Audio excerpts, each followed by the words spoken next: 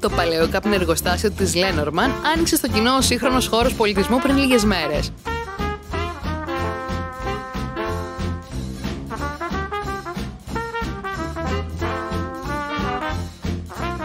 Τον χώρο διαχειρίζεται η Βουλή για τη φιλοξενία και διοργάνωση πολιτιστικών και κοινωνικών εκδηλώσεων.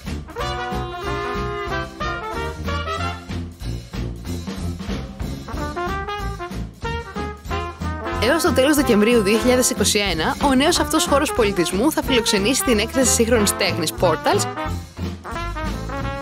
πύλης σε διοργάνωση του Νίων και επιμέλεια της Ελλήνας Κουντούρη, διευθύντριας Νίων.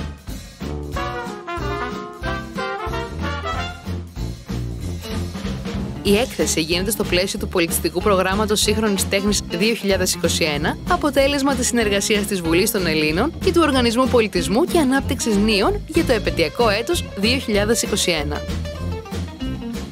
Στόχος, η ανάδειξη σε εθνικό και διεθνές επίπεδο της δυναμικής των δημοκρατικών θεσμών στις προκλήσεις της σημερινής κοινωνικής πραγματικότητας μέσα από τη διάσταση της σύγχρονης καλλιτεχνικής δημιουργίας.